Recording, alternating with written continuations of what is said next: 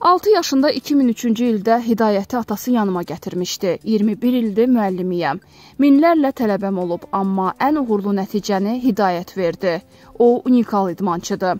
Bunu Qafqaz İnfoya açıqlamasında Olimpiya çempionu olan Hidayət Heydərovun müəllimi Tərlan Həsənov deyib.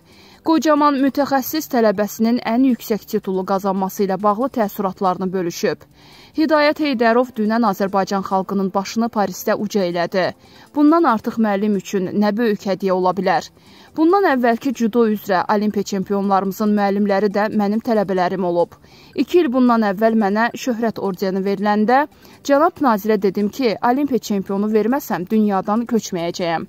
Dünən gecə saat 3-də Hidayət mənə zəng etdi. Dedi, müəllim, cənab prezidentin zəngini gözləyirdim. Ona görə telefonu çox məşğul edə bilmirdim. Dedi ki, sizə verdiyim sözü tutdum. Bu əsl xarakter göstəricisidir. Hidayət bu uğurla məni 21 il cavanlaşdırdı. Qeyd edək ki, Tərlan Həsənov 1942-ci il noyabrın 26-sında Qazax şəhərində anadan olub. Azərbaycanın ilk judo məşqçilərindən və hakimlərindən olan Tərlan müəllim 1980-ci ildə Ümumittifaq dərəcəli hakim, 1989-cu ildə isə əməkdar məşqçi adına layiq görülüb. O 52 ildir tələbələrinə judonun sirlərini öyrədir.